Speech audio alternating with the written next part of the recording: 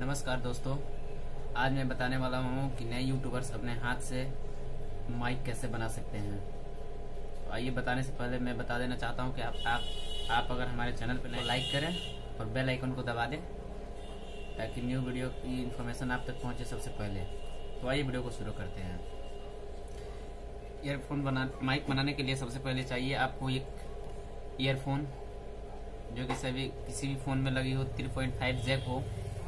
कोई भी मोबाइल का एक हेडफोन लें और उसको काट दें। ताकि उसका माइक अलग हो जाए और वायर अलग।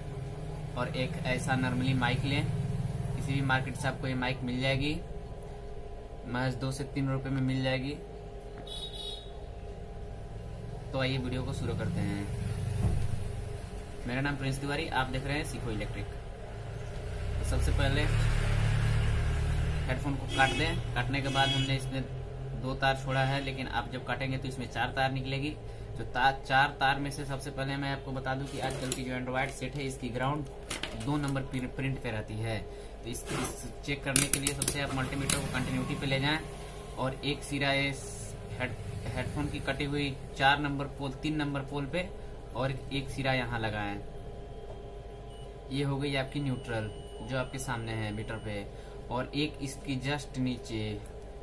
जो कि ये रहा, जिससे माइक की कंटिन्यूटी बनी रहती है। यानी कि आपको ये और ये नीचे से एक नंबर और दो नंबर प्रिंट की ही आवश्यकता है। बाकी ये दो प्रिंटों को काट दें। इसको काटने के बाद मैं बता दूँ कि आपको वीडियो को एंड तक देखें, ताकि मैं सबसे इंटरेस्टिंग बात वीडियो के एंड में बताया तो आइए कटे हुए वायर को मैं एक शोल्डर के सहारे इस माइक को ये माइक जो है, एक परफेक्ट ईयरफोन का ही माइक है, जो आपकी नॉर्मली ईयरफोन में लगी हुई रहती है।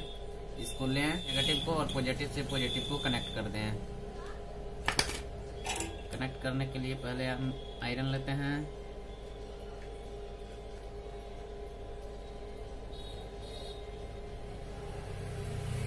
मैंने हटा दिया। और इस पर पेस्ट लगा दे। मैंने हटा दिया और इस पे आप पेस्ट लगा दें। पेस्ट लगाने के बाद ये हो गया नेगेटिव सिरा।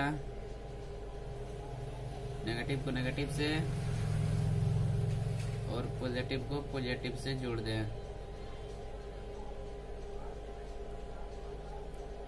ये जुड़ गई। जोड़ने के बाद वीडियो को एंड तक देखें।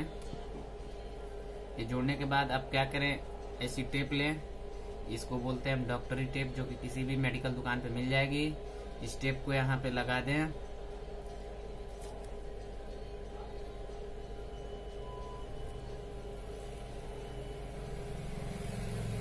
इसको यहाँ पे लगा दें। जितना मर्ज़ी करो उतना लगा के और टेप को तोड़ लें।